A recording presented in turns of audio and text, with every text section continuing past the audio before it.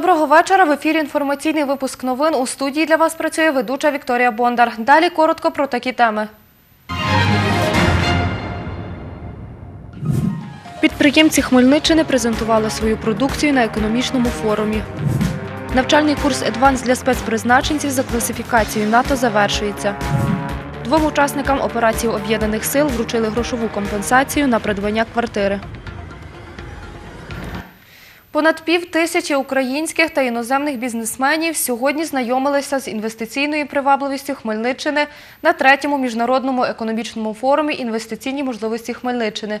Місцеві підприємці презентували свою продукцію, щоб зацікавити потенційних інвесторів вкладати гроші в їхні виробництва. Що саме вони пропонують і чого чекають від форуму, дізнавалася моя колега Світлана Поробок. Це тепличне господарство в Хмельницькому районі підприємця Василя Міракіна. Тут вирощують огірки і салати. Норма е, збору річна, е, не річна, а з одного урожаю 25 кг з квадратного метра. Е, Ми навіть перевищуємо норму. Ми збирали ну, 28 було і 30 було. Теплиці працюють 11 місяців у рік, але навіть в той один місяць, червень, теплиці все одно не припиняють своєї роботи, тому що йде підготовка. Городину цього тепличного господарства продають в області та Україні. За словами Василя Міракіна, для збуту за кордон потрібні інвестиції, бажано іноземні. Пошуком інвесторів занепокоєні на Полонському видобувному кар'єрі. Його директор із колегами презентує породи каменю і глини, які можна використовувати в будівництві, оздобленні будівель та виготовленні кераміки. Якщо на цьому форумі будуть присутні підприємці, які займаються виготовленням кераміки, я готовий надавати їм продукти і співпрацювати з ними. Альона Продивус привезла на форум із Старої Ушиці Кам'янець-Подільського району чаї з лікарських трав, які вона вирощує з чоловіком у своєму господарстві. Підприємиця каже, впевнена, що пропозиції від українських бізнесменів надійдуть. Наша продукція відрізняється тим, що вона, по-перше, екологічно чиста. Ми при е, вирощуванні і зборі е, своїх лікарських рослин не використовуємо гербіцидів, різних е, міндобрив. Стосовно іноземних бізнесменів, то каже Альона Продивус, виходити на європейські ринки ще не готова. Для європейського виробника можливо потрібно десь допрацювати трохи. А це продукція Хмельницького ливарного підприємства, де два роки тому припинили постачати в країни Європи метал як сировину, каже директорка Аліна Скоморохова. Готову продукцію виготовляємо, що робить, е, дає нам можливість виходити на європейські ринки.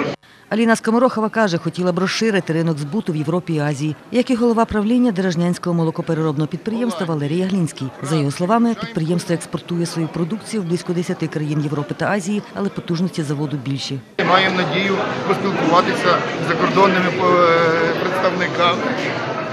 Е, Маємо познайомитись. Особливо чекаємо тобі переговорів, тобто один на один. На співпрацю, каже, чекає науковець Хмельницького національного університету Анатолій Зрізецький. Доцент презентує власні розробки та своїх колег у сфері енергетики і енергоощадних технологій. Та каже, сподівається на зацікавленість інвесторів. Тут представлені, розроблені і функціонують у нас е, сонячні панелі, от, е, сонячні електростанції. Сферою енергоефективних технологій та економії енергетичних ресурсів, каже Соня Крайчова, перший секретар посольства Словацької Республіки в Україні, в її країні зацікавлені. Словаччина дуже сильна в енергоефективних технологіях і готова поділитись досвідом. Все залежить від того, як минуть переговори тобі. Перемовини в форматі «Тобі» відбудуться завтра на другому міжнародному дні форуму. Світлана Поробок, новини Поділля Центр. Закінчується підвищений курс військового навчання за класифікацією НАТО. Сьогодні військові розвідники одного з підрозділів 8-го окремого полку сил спецоперацій відпрацьовували роботу в умовних житлових кварталах міста. Як відбувалось навчання, бачила наша знімальна група.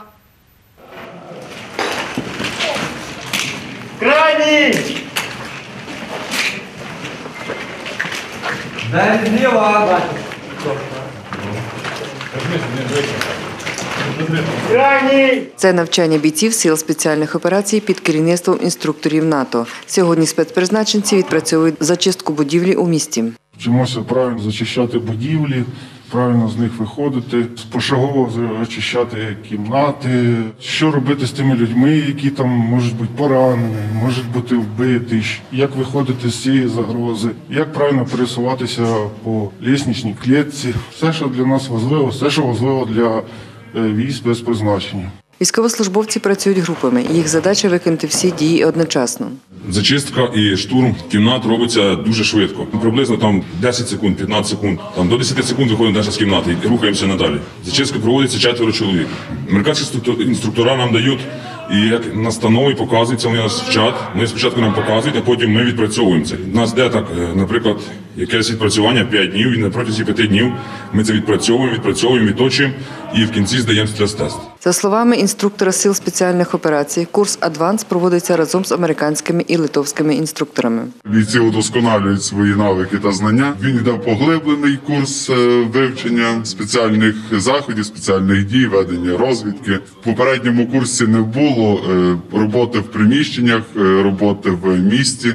В цьому курсі вже додалося більше роботи в житлових кварталах. Цей курс дає злагодженість, злагодженість групи. Багато таких умов, де в групі потрібно розуміти один одного, навіть не з півслова з одного погляду. Наступного тижня бійці відпрацюють ще один тактичний курс. Інструктора підготують курс так, щоб було і важко, і цікаво. Ми все об'єднаємо в один тиждень і зробимо такий стрес-тиждень. Найскладніше завдання це все ще попереду. Найскладніше завдання будуть хлопці виконувати вже коли поїдуть в зону бойових дій. Навчання військовослужбовців закінчиться наступного тижня. Тетяна Ворожцова, Олександр Горішевський. Новини Поділля. Центр. Грошову компенсацію на придбання житла сьогодні отримав учасник бойових дій на Сході Ігор Гонтар.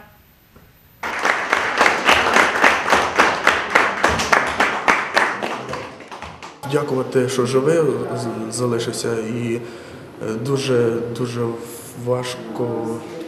Ну, коли загинули побратими, це дуже, це дуже важко. Чекаємо поповнення зараз е, і чекаємо. Перше. Перша дитина. Два з половиною мільйони гривень надають із міського бюджету для виплати грошових компенсацій на житло, розповідає міський голова Олександр Семчишин. Сьогодні на День добровольця ми вручили дві, к- дві компенсації на придбання житла для двох учасників російсько-української війни. Це обидвоє інваліди третьої групи, обидвоє поранені на війні. Це цільові кошти, які можна витратити тільки на придбання квартири. Ці кошти враховуються по формулі в залежності від кількості членів сім'ї. Е, Відповідно, сьогодні е, в середньому це півмільйона гривень.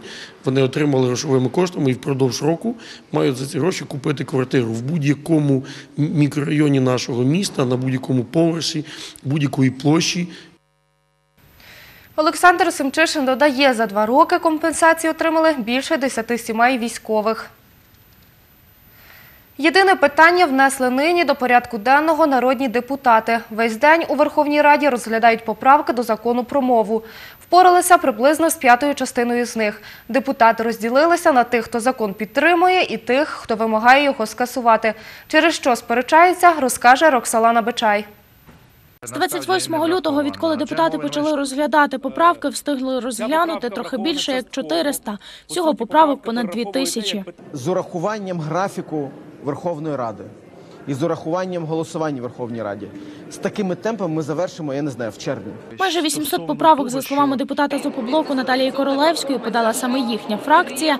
Віце-прем'єр-міністр з гуманітарних питань В'ячеслав Кириленко, який сьогодні прийшов на засідання, вважає, «Опоблок» зумисне затягує розгляд законопроекту. Ви за три дні жодної правки нормально не сформулювали. Тому у мене для вас порада. Зніміть свої всі правки, не смішіть український народ, не уповільнюйте розгляд. Вам не вдасться зірвати прийняття за Украї... закону про українську мову. Нардеп від «Опоблоку» Олександр Долженков каже, що ухвалювати законопроект до президентських виборів не варто, бо вважає його частиною передвиборної агітації президента. Ми звернулися до завідувача відділу головного департаменту інформаційної політики адміністрації президента Володимира Горковенка, щоб він прокоментував таку заяву. Горковенко назвав її маразматичною і відмовився від коментарів. Олександр Долженков також каже, що новий закон утискає права нацменшин. Він не відповідає конституції, тому ми в будь-якому випадку будемо докладати зусиль для того, щоб поновити справедливість, оскаржити його в конституційному порядку і відновити права національних меншин, зокрема російськомовного населення. Ініціатор законопроекту Микола Княжицький пояснює, на кого передусім вплине закон у разі ухвалення.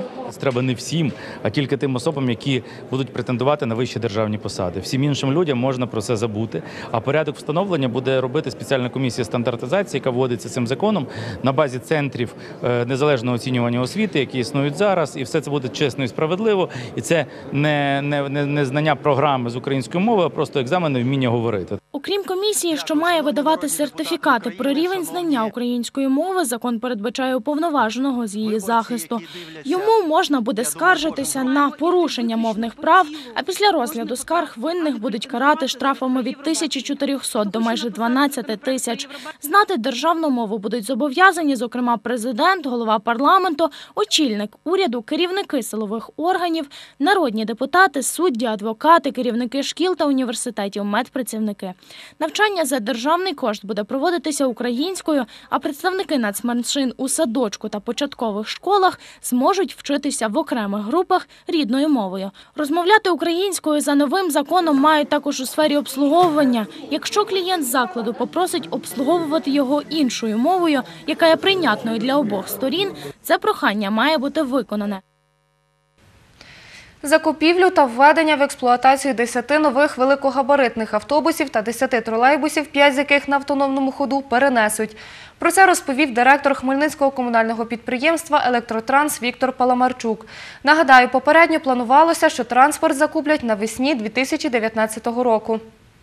Є е, якісь певні е, труднощі, то буде е, перенесено тролейбуси на вересень місяць, а автобуси будуть е, листопад, грудень місяць. В першу чергу, напевне, автобуси будуть направлені на так звані проблемні маршрути, які сьогодні є. А е, тролейбуси на автономному ходу вони теж будуть е, продовжувати свій маршрут на деякі мікрорайони, там, де немає контактної мережі.